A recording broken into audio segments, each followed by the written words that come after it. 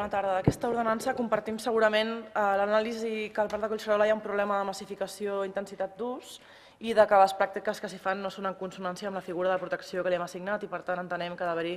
doncs, alguna acció per part de l'administració eh, per regular aquesta massificació, aquesta intensitat que al capdavall va en detriment de, del propi parc però volem també afegir algunes quantes reflexions eh, a l'hora doncs, que expliquem el nostre posicionament de vot. Igual que fa 20 anys es promocionava el parc perquè la gent se'l fes seu i l'utilitzés, pel poc ús que se'n feia, tot això ha canviat i ha superat aquella expectativa. I avui en dia doncs, trobem que el Parc de Collserola en conjunt rep 3 milions d'usuaris l'any, un 12% de Sant Cugatenc, segons diuen les xifres. Això ha vingut donat no només pels esforços del parc de fer-lo més accessible, sinó també els canvis que hi ha a la societat que ha passat a considerar l'espai natural espai per la conservació dels processos ecològics, el control de les pertorbacions, la consideració dels serveis ecosistèmics i el manteniment i millora del passatge, sinó que s'ha passat a considerar com un servei, un servei per l'oci, l'esbarjo, el gaudi, el lleure, la salut o l'esport. En definitiva, un servei més del catàleg de la pròpia ciutat. Ara es vol doncs, indicar que les pautes de comportament a seguir respecte a la circulació en bicicleta amb un suposat objectiu final de protecció d'aquest patrimoni natural, però al cap i a la fi únicament es ve a normativitzar i a restringir l'ús que s'ha de fer dels espais comuns en què coincideixen doncs, diversos usuaris. Nosaltres hem dit moltes vegades que no ens agraden les ordenances perquè venen a suplir i a normativitzar l'espai comú que sempre hem pensat, bueno, sempre ha estat regit per la vida en conjunt. I tampoc ens sembla, ja ho avancem, que se solucionin el conflicte entre usuaris sancionant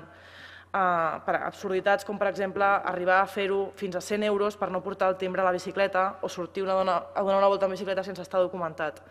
així com ens agradaria conèixer si es té coneixement de l'eficàcia de reduir les zones ciclables a només els grans camins i les grans artèries del parc on de normal ja hi ha més densitat d'usuaris. Obligar a coincidir per on circular ciclistes i caminants no sembla la millor idea al, al nostre entendre. Reduir l'espai ciclable del, pel parc tampoc. I de facto la prohibició encoberta, diguéssim, que les bicicletes puguin anar per camins i corriols en la pràctica d'altres disciplines esportives a fi de reduir la conflictivitat del parc mitjançant una ordenança. Ens, en pensem que s'allunya de l'objectiu de la protecció natural, sinó que ve, finalment, a, consolidar el principal objectiu, que és evitar el conflicte d'usos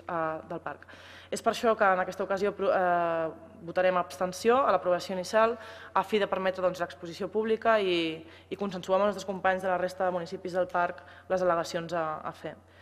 Uh, i, I avancem doncs, que en aquest termini d'exposició pública demanarem la retirada de les sancions i les restriccions d'ús eh, i posarem doncs, el respecte l'entesa mutu entre les persones les activitats al centre.